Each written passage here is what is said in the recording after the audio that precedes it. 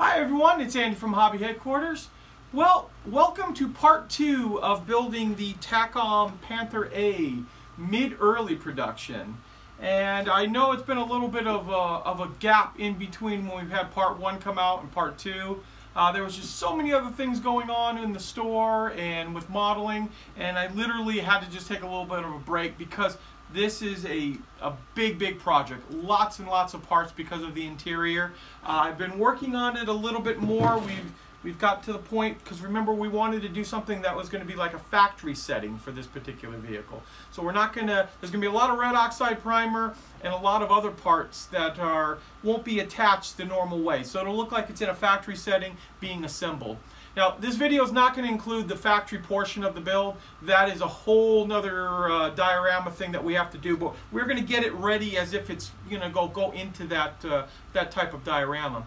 Plus, I've also just found out that Ming is going to be making a, uh, a turret holder that it's on wheels. It's the bracing and turret holder that they would have used in a factory that they would have placed the turret in and that way they could wheel it around closer to the vehicles before they actually popped them into place. So as soon as we get one of those, we'll also use that in correlation with the rest of the parts that we've already put together to build, you know, a nice little simple diorama. We're not going to go with a huge factory or anything like that, but uh, uh, it's starting to come together really well. Uh, it's it's fun sometimes to come back and take a little break from something when something's not aggravating you, but there's just so many parts that you want to just you know pull what little hair you have out already in there. But uh, we're back to it, and everything is falling right back together like it like it should.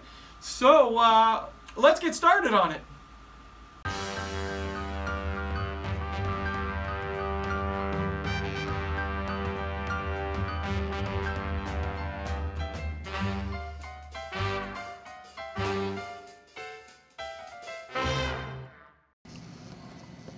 Well, right now we're in the process of assembling the parts of the engine. Now, I've, I've kind of built a bunch of little sub-assemblies right here to show you guys because it's, it's pretty straightforward what we have to assemble here. And trying out all the different parts. Everything seems to fit fairly well. In fact, now we're just hooking up some of the plumbing.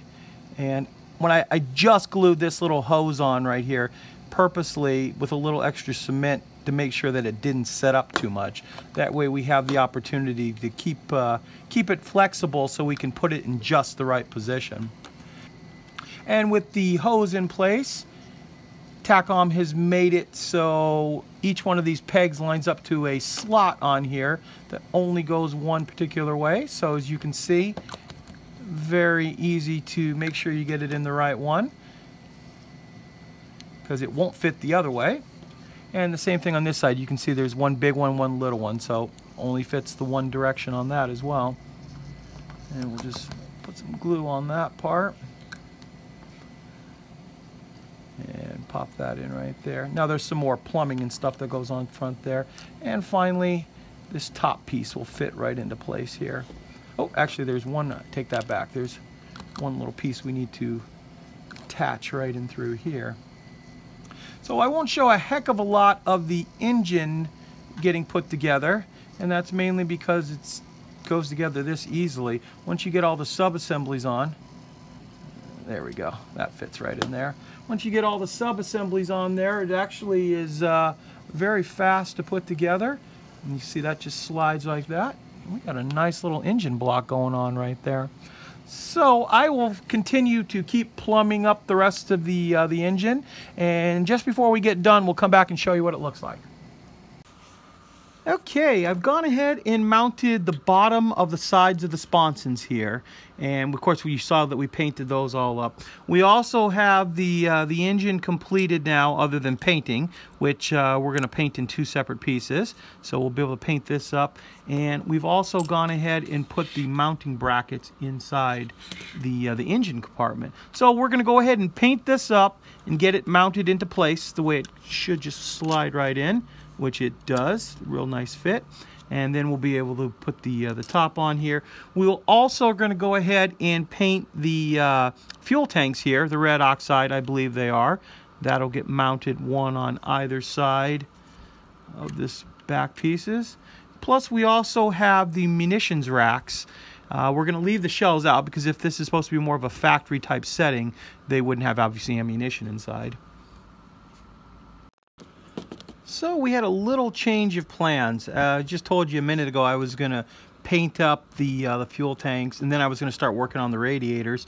And I started looking into the instructions and saw how these pieces fit in and realized I need to actually assemble all this stuff in place because there's it, it fits very very well it's just that you need to have it lined up perfectly to get all the uh, the radiator parts um, to line up so what I thought I would do here is we would do just what I was get this lined up. So we'll get all of the radiators and the fuel tanks installed like we did on this side and then we can come back mask this off mask the uh, the lower part down here and just spray the entire thing with the red oxide primer. Uh, like I said I was going to paint these separately but it's not a big deal. And you can see once it's in place all of these all these components just drop right in but you do need this other outer wall to make sure everything's lined up so what I'm going to do now is I'm going to finish gluing off the rest of this. We'll mask this portion off and spray these the red oxide primer after we get them all squared up and lined up here. It's a little bit off, but you get the general idea. This side went together real, real fast and easy. This one looks like it just might need just a little bit of adjustment before we can we can get it on there. But I'll work on that right now. So we've got all those parts painted and the engine is glued into place now. Now I'm just going over all of these areas with some Tamiya black panel wash and we're putting it on kind of heavy. We're to let it soak in for just a few minutes and then using just a dry dry brush we're going to take it off just like a dry brushing technique and this should give us some nice shadow effects on all these pieces and I'll show you what that looks like in a few minutes. Uh, we also have I actually don't know what this part of the vehicle is, but this part right here is going to get glued in right now. And then we can start putting the rest of the plumbing in the tank. And Takom has provided a lot of nice little tabs, so all of this stuff kind of fits fairly easy and straightforward. We have our uh, last little bit of plumbing. I do have to do some more weathering and some lines on that, but that will get glued in just like about like that. But I, I like I said, I want to do some more painting on that before we get that in. And finally, we'll be able to drop the top of the engine on after we get that other plumbing in place there. And it's real clean right now, but we'll weather that down a bit too. So, see if this is starting to yeah, we want to start taking off just a little bit of this now. And then blot it off on a paper towel.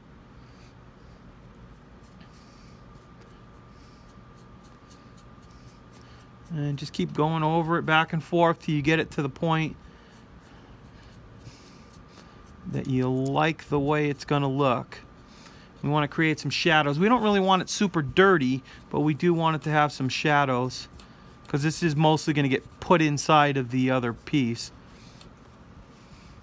Oh, also, I've gone ahead and red oxide primered the inside of here so we can put that into place too and not worrying about having to try to paint inside of all that once it's done. So I am going to go back and forth and work on dry brushing this for a little while longer. Might let it set up a bit more first before we do any more of that. And just before we do any of the plumbing, we're going to come back and show you what it looks like. Okay, we've got the uh, the engine compartment weathered up. Uh, the radiators and all that, we've wiped off most of the excess panel liner, just enough to give it some shadow effect, and especially it's going to get covered over partially, but you will be able to see inside, and there would be a lot more shadows.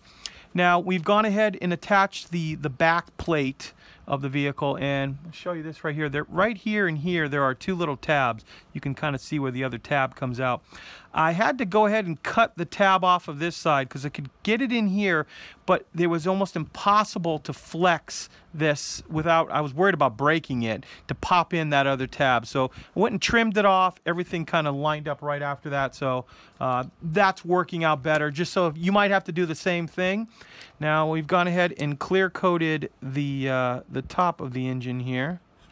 And that we can now weather as well And you might notice too, the engine has a little bit of play. I only glued it in the front for right now because I was always worried about when you're putting all these multiple pieces together like this, that if you glue it down solid and then you go on later on and then you're going, oh, I can't get this piece around it or I can't get another piece around it. And so we still want to get that plumbing in around.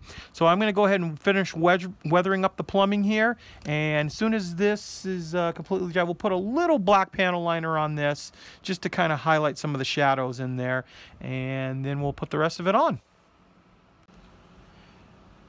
Here's our mostly completed uh, weathered and painted engine now. As you can see, we've installed the last little bits of plumbing in the engine, did a little detailing, and finish up doing the dry brushing with the, uh, the washes that we had on side there. So we have a nice uh, shadowy uh, engine compartment, not too, too dirty, but still shows all the detail that Takom has installed into this kit. Now, with that portion of it done, we can, and I have been actually doing this already, we were dry fitting the, the top of the vehicle on. The top has the, uh, the clips in it. Let me zoom out a little bit right there for you guys. This uh, will clip right in on the front. And the front clips in way easier than the back did. And we just have to do a little bit of adjusting here to get it to all line up.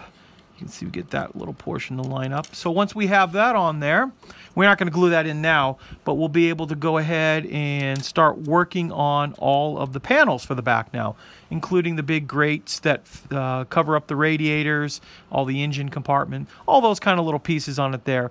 Now we do have to be careful how we're going to do all this stuff because we want to leave part of as much of this exposed. In fact, might even leave something like this out on the side like they're about to put this into place and bolt it on.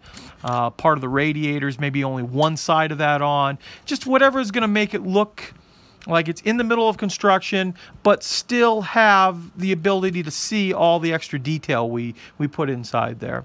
So with that in mind, I am going to start building the sub-assemblies that make these up.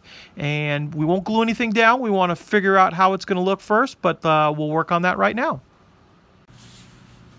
Well, we've gone ahead and put in all of the bracing and the ammo racks and all these other little pieces and little bins that call for as well as the, uh, the top brace right here. And as you can see, we've gone ahead and sprayed just a base coat of the uh, the dark yellow and and I was looking into Panther factories and I was trying to find some color shots and could not find one body color that was painted with the red oxide primer. I mean the insides were all painted with the red oxide but everything was on the outside was either gray or the actual body color that was going to be. I did find some Panther turrets that were painted red oxide primer but nothing for the full body. Now we've obviously got to attach a lot of other pieces on here and like on the back here I'm probably going to leave it in this similar setup. And now uh, this is not clicked into place here, but I've drilled out the holes for where the bolts would attach all that stuff. So to make that, and I've got to probably drill out the holes on the hatch, which we painted the dark yellow on the outside and the red oxide on the inside. Thought about having that on there with the hatch open, but it, it covers up so much of what we, you know, the time and effort we put into building that.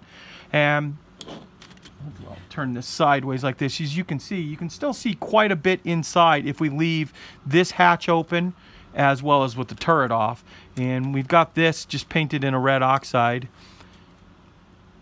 I have to do a little research. They've got this giant uh, tube underneath here basically. And I don't know if that's some kind of hydraulic thing for the uh, for the hatches or not, if that is supposed to be there, if it's in scale or what. I would imagine it would be considering that this is an interior kit, but you can see how, uh, how that's going to start to look.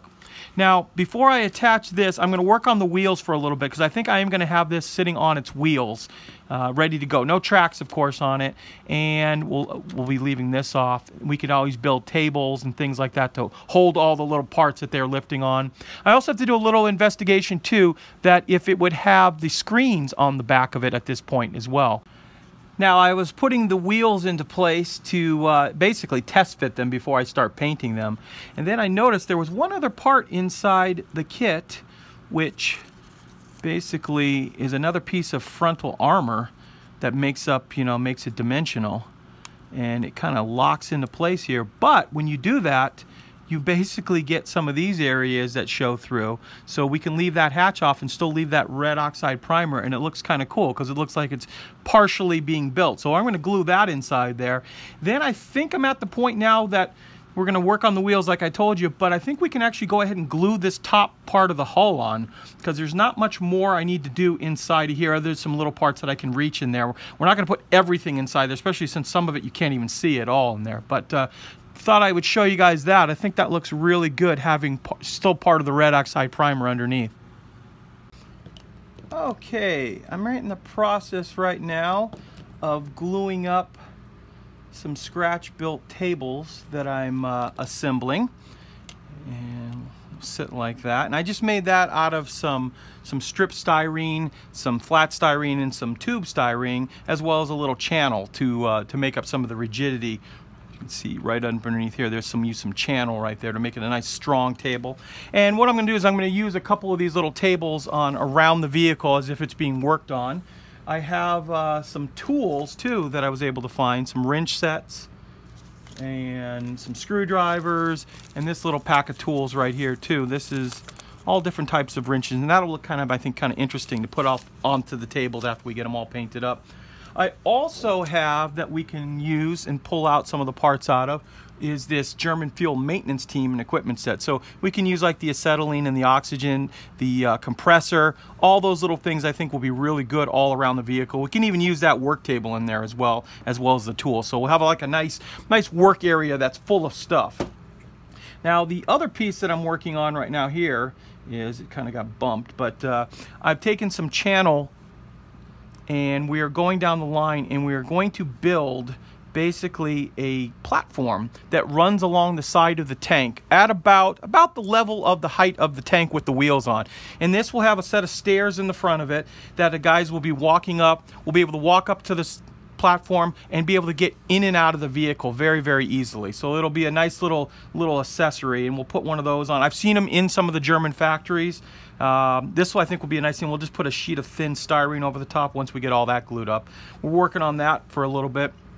But what I want to show you right now is the actual vehicle that um, I've gone ahead and mated the top and bottom hull together. So we've got that glued down. I did go ahead and put the photo etch in place too and paint that all up. And changed my mind again. I did put this hatch on. I noticed most of them have the hatch in place and we've just left this hatch open. Now I've gone ahead also and dull coated the entire thing. So what we can do now is I'm liking taking the uh, the panel liner and we're going to go down the line and just highlight any of these pieces in here like the weld seams, any of the rivet holes and even found a couple other pictures too. This area right here with the rivet, with the excuse me, with the holes drilled out, those were actually exposed just like that. So we'll leave some of these parts off. We'll put like the periscopes on and the covers that cover them, but we'll leave some of the other parts off as if it's being built. So if you can imagine this thing going right along the side of it here, with the stairs coming down the front and a platform, maybe even a, a board or two that they can walk across. Just something, something interesting like that. And then we can put all the tools all over it. Well, as you can see, I've finished up the walkway with the stairs and we built just a simple little handrail to get up on top there. And I've noticed every one that we saw in the real factories did not have handrails on either side. And I guess that's so you could put it on either side of the vehicle. If there was another vehicle here, you could walk over. We also painted up our tables, got all basically together. The other thing I want to do is also maybe build some racks back here up against the wall type thing that would have like parts on it. I saw that in quite a few factories. Now you may notice that we have a big piece of styrene right here that I've just painted with a, a, light gray. And this is going to represent the size of the diorama we're going to build. And this is going to be like a piece of the factory floor. And this is how big it's going to be. I painted it gray just to kind of represent concrete. We'll, we'll cut it up and score it and then weather it and beat it up. But just to give you a general idea of size, what we're talking about on this. Now I have the wheels in place, but we haven't painted them yet. I just put it basically on there to give you, show you how big it's gonna look like with a guy would just walk over onto the other piece. I think we're gonna call it, uh, call it uh, done for this particular video. There are a bunch of things that I've put on order, like that that thing that's going to go out front here, the cart that'll hold the uh, the Panther turret. We'll put that on there. That's coming out from Ming. And there's a few other things that I want to get as well. And I'll start working on this and the next video might be out in a couple of weeks. It's just all depending on when we can get more stuff done and the rest of the products that I want to do on it. But and really enjoying the kit. It's going together really well and we'll do some little pin line washes on it and things like that in the next video. But this just gives you a really good idea what the thing's gonna look like. Oh, and before I forget too, I am gonna try to work out putting a gantry up here. Something that would be able to grab the, uh, the turret, pull it over, drop it into place. Not sure if I'm going to be able to pull that off with this. Uh, I've been looking at some online, and Verlinden used to make one of those. I don't know how big it was. I'm going to have to look into that a little further. If not, I've got a bunch of I-beams that will be able to build up something ourselves. If nothing else, it'll just be the sides will going up on it but that's the beauty of modeling. We uh, kind of wing it here, and as we go along, we'll figure out what's the best thing for this diorama. So, uh, like I said, we're done for today on this. I want to thank you guys, as always, for watching, and please stay tuned because we have many more videos coming.